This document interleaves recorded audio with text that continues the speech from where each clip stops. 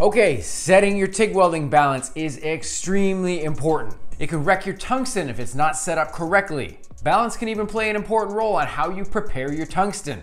So let's get set up here to get some great results much easier, as well as give you some actual advice on how to get this perfectly dialed in for TIG welding aluminum. Okay, so let's get going here. The first thing that we need to clear up is there is a huge debate on the proper way to prepare your tungsten. Some people say you only can do it pointed. Some people prefer a blunted tip. Some people say to put a ball on the end. But honestly, the more that people read into this subject, the more confusing it can get. So many options, so many opinions, very confusing, right? Now, what I'm about to tell you is from my personal experience, so this is just my opinion, but the information I'm gonna give you here is gonna apply to whatever preparation you are using, doesn't matter. So, whatever setup you have running or you prefer using, here are some common problems that we have to deal with no matter what preparation you are using. This is basically gonna be something really annoying that I usually refer to as fluttering or misshaping. Now, look at this stupid stuff here. This is really annoying, right? Don't act like you haven't seen this happen before. It happens to everybody. Now, typically, this kind of stuff usually happens when people are welding at higher amperages. What's gonna happen is you're gonna see the tip of your tungsten start to freak out and flutter and shake all over the place. Now, typically, from personal experience, I find that this happens a little more frequently with a blunted tungsten or especially a pointed tungsten. It's all good if you wanna use those preparations. Let's get you sorted out here so this does not happen to you. Now, what is typical when somebody is using a pointed tungsten, for example? Perhaps somebody is set up to TIG weld some really nice thin material. And when they're welding, everything is running along completely fine. Bzzz. Right on, looks great. Welding with something like this, you might be able to run a pointed or a blunted tip and everything stays completely fine with it. But what can sometimes happen is somebody goes to set up and weld on something flat that requires a little more heat. Perhaps something they switch to do something really hot like a fillet joint. And then all of a sudden, the tip of this poor tungsten just starts to freak right out. You can see it start to misshape like this one here. Sometimes you can see it ball up or excessively become big on the end. You might end up with something lopsided and crazy like this one here. You might end up with something with an excessively large ball on the end like this one here. Doesn't matter, whatever happens, if it doesn't stay the same as you originally set up, this is really fucking annoying. Sometimes what happens if you are using a blunted tungsten, all of a sudden you start to weld something and you start getting these crazy nodules and weird shapes on them. Obviously, trying to weld with a preparation on the end of the tungsten like this is completely annoying. This is gonna give you something that I talk about on my channel very often. This is called arc deflection. Anytime you're welding at low amperage, you can see your arc starting to flicker off here and there, not locking onto the target you are aiming at. Trying to stay focused on an area that you are trying to weld will basically be impossible with a tungsten that has a tip like this now. Okay, so now we now know some very common problems. So what is the cause of these and most importantly, how do we fix them? Like I mentioned, welding with some of this stuff may be completely fine at low amperage. But when we start getting welding into something with a little more heat, this is typically where the problems are gonna start to arise. Now, from my experience, and again, this is just my opinion. Typically what is gonna happen as we start to increase the amperage or weld a little bit hotter, the positive side of the AC cycle is gonna cause instability with the tip of your tungsten and it is gonna cause it to flutter or misshape. So picture what I'm talking about, like this little graph here. Boom, graph, made that. Let's say this little graph here is me welding at 100 amps. We have our balance set to 75% negative and 25% positive. Now, when welding at 100 amps, we have a set amount of these values that we are going to be using. But what happens when we start to increase the heat to something like 150 amps? All of a sudden, even though the ratio of our balance is still the same, we are now using different values of each side of the AC cycle. And what happens with whatever tungsten, like we talked about, welding at low amperage is cool with this amperage here. Now all of a sudden has to deal with way more positive side of the cycle in this scenario here, even though the ratio has not changed at all. Now, if you have your tungsten set up like a pointed tungsten or a blunted tungsten, something that's really good at welding thin stuff, when we see how much more positive side of the AC cycle is now affecting this tungsten, we can understand why this is going to start freaking out. Now, something that may help with this is to step up your tungsten diameter. It's gonna give you a little more tungsten that might hold the shape a little better. Okay, really quick here. I'm gonna pick you up for a second. Okay, so really important here. Instead of making you sit through a YouTube ad at this point here, I'm gonna tell you something really important that you can get at the end of this episode. So make sure you finish watching the entire episode and then that special announcement is gonna come later. All right, back to the show. So you can see with this graph here, as we are welding at higher amperages, we are obviously using more positive side of the AC cycle. even though, like I said, we are using the exact same ratio of balance like we set on the machine.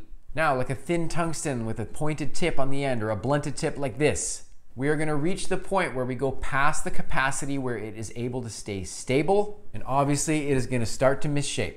Sometimes when this happens, it'll partially form these stupid things like you see here, or it can completely roll over the end of your tungsten and cause excessive balling. I've talked about this many times on my channel before. One of my favorite settings to adjust on the fly that I do very frequently is balance. Okay, so very importantly off the top, we need to ask the question, what is balance when TIG welding? All right, what you're looking at here is an AC sine wave. AC stands for alternating current, which basically means that when you are TIG welding aluminum, you are alternating between the two polarities of DC negative as well as DC positive. Alternating between these two currents is very important. This is what allows us to TIG weld aluminum.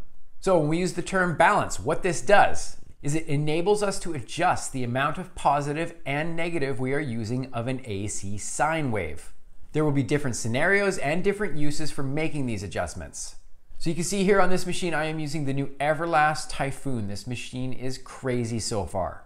So what we're gonna do is we're gonna adjust the balance on this machine to something that is common to what somebody might set up. Let's say, for example, I'm running approximately 20 to 25% of the positive side of the cycle, which means I'll be using approximately 80 to 75% of the negative side of the cycle.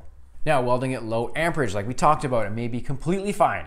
The preparation of the tungsten is gonna handle this setting completely fine with no problems. But when I increase the amperage on the machine overall, this is when we are gonna start to see really frustrating things happen right away. Typically, when I'm welding low amperage stuff, I like running more positive side of the AC cycle. This way, when I'm welding this stuff, I'm gonna get a great amount of cleaning action, and the weld is always gonna turn out to be nice and shiny. Now, what happens when I start to weld something that requires a little more heat? I'm gonna increase the negative side of the AC cycle, therefore decreasing the positive side. So as we start using more amperage to do a hotter weld, we are still gonna get the required cleaning action of the positive side of the cycle, but we also use less of the positive side of the cycle so that we do not see the tungsten being affected by any misshaping at all. You're starting to see how this works? I guarantee you are gonna see no matter what type of preparation you're using, the tungsten is gonna misshape or flutter a lot less, and you're gonna see whatever preparation you prefer using last a much longer time. Now, this goes especially so for running a pointed tungsten. You're absolutely gonna wanna use more of the negative side of the cycle. This is gonna help to keep your pointed tungsten nice and sharp or whatever. Now, using a blunted tungsten, this is honestly something that you probably want as well. On a blunted tungsten, if the positive side of the cycle is set too high, you're gonna see these little nodules form first on these little corners here. So with a blunted tungsten, I'm gonna do the exact same thing with my balance settings. Now, I personally, and again, personally, chill out, prefer using a tungsten with a small ball on the end of it. I find that this one is a little less susceptible to having any inconsistencies with your balance settings. I think that you will find, especially if you're just getting going with TIG welding, even if your balance setting is set a little bit inaccurately, you will get away with a little more wiggle room with a ball on the end of your tungsten. But when you get your balance setting set perfectly for running a ball as well, this thing is gonna be rock solid for welding. Now what I'm gonna do typically when I'm welding hotter stuff, I'm gonna find the area right below the threshold of where I see the tungsten start to flutter or start to misshape. At this point, what I will do is back the balance off about three to 5%. This is gonna leave you somewhere around the perfect sweet spot right here. If we go above this, obviously we're gonna start to see things go absolutely crazy. And this threshold is gonna be very different for every type of machine that you can use. This is gonna be something that is extremely subjective to whatever machine you are using as well as your setup. Find what works best for whatever setup you are using. Now, the same goes for the other side of the polarity on the negative side. If you want the preparation to be unchanged and not flutter or anything on your tungsten, then why don't we just run all negative on that side? Let's not get too crazy right now, okay? What's gonna happen as you start to run too much negative side of your polarity, what's gonna happen is you're gonna start to see things looking grainy and dull. And you're also gonna see the cleaning action of your welding area start to diminish or disappear completely. So while the negative side keeps your tungsten from going crazy, you're gonna find that there is a point of diminishing returns with this side of the polarity as well. And like I said about the positive side, this is gonna be very different and subjective to whatever type of machine and setup you are using. What you can do is try and find this sweet spot for both high and low amperage welding. Sometimes what can happen is you can start to see the tungsten begin to crack. This is a really annoying problem to deal with as well. This used to drive me crazy. Now, from what I have experienced, this typically starts to happen when the positive side of the cycle becomes insufficient as well. From my experience, like I say, running a little bit more of the positive side of the cycle is gonna help to prevent this from happening. But again, this amount of positive is gonna vary for whatever type of machine you are using and whatever type of preparation you prefer. Higher amperage will require less amounts of positive side of the cycle, while you can get away with a little more welding at lower amperage settings. In my experience of TIG welding in production, I have used really high-end, state-of-the-art inverter type machines. I have used transformer type machines that are as old as I am. And now with this understanding of the balance that I'm describing to you here, no matter what machine you are using, whether newer or older, whether you're welding thick material or thin material, I'm gonna be able to keep my tungsten super clean and in perfect shape for welding. And with whatever preparation you prefer, you're gonna get some great results with welding. Now, I teach people how to TIG weld online in my program. I run one of the most in-depth and thorough TIG welding programs online where I teach people how to weld with whatever setup they have access to or have at their place. But I have just released a free course that you can take right now. This is a complete understanding on how to break down and understand everything with TIG welding aluminum from the bottom up. Go take my class right now, it's free. Do a random act of kindness for a stranger today. My name is Dusty. Bill and Shell, we will talk soon. Peace.